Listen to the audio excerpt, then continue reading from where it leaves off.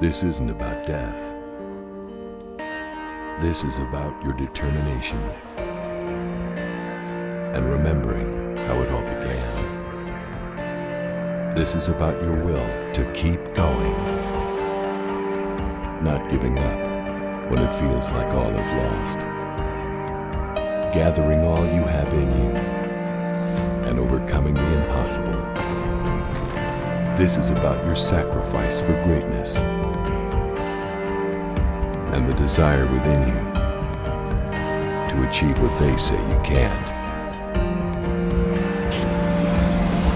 This isn't about death. This is about what you learn from death.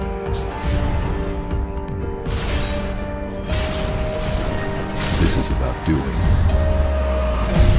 what you were meant to do.